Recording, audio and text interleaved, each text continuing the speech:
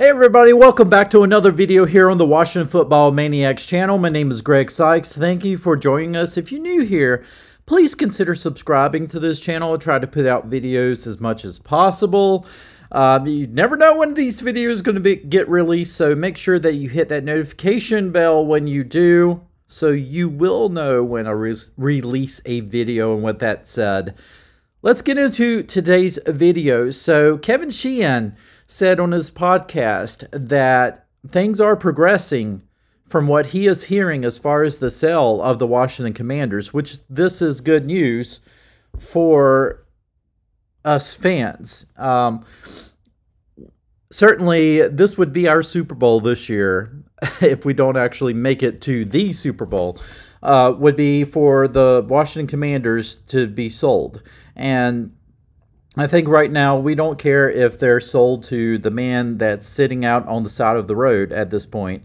Uh, we just want it out of the hands of the Snyder family. And so, now that being said, certainly he doesn't know any more details other than that. Just what he's been told is that things are progressing and moving along nicely. So, folks, it doesn't sound like this is going to be anything that gets dropped, even though that certainly there's been some changes within the House Oversight Committee, and a lot of people are, you know, are, are thinking now since that there's been leadership changes and that that leadership has said that they're going to drop all of this investigation against Dan Snyder. I don't think it's going to be enough to have Dan Snyder not sell the team because he's still under a lot of pressure otherwise.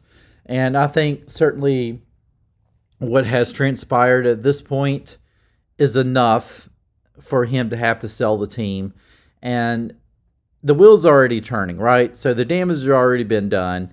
And I think for us fans, this is a good thing because for right now, you do have the team that looks like it's on an upward trajectory. So it's good that this team is looking upward in terms of, of play on the field. Um, coaching seems to be doing better so far. You know, players are doing better. So for the team to get sold and things are looking upward, I mean, we have nothing but blue skies, I think, ahead of us. So let's just hope that things continue on. I still feel like that by January, so by next month, we're going to really see uh, some news regarding a sale of a team. And then hopefully by March, I think that we're poss- possibly, we should see a new ownership uh, in Washington. And I can't wait. Now, is it going to be Jeff Bezos? well, he seems to be the leading guy, but who knows? It may be a dark horse, maybe somebody else. At this point, I just hope it's somebody good, and I hope it's somebody who has some experience with sports franchises. Me, that's personally who I want.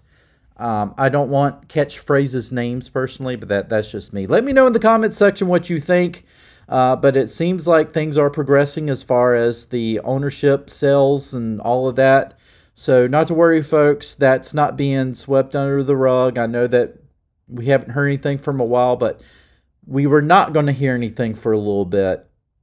But as the season ends and we start to get into January, we will start hearing a little bit more about this. So, just let me know what you think in the comment section. Please, again, consider subscribing to this channel. Uh, leave me comments. Uh, leave me likes on this. Uh, leave me a thanks if you possibly can. I would really appreciate that. And until next time.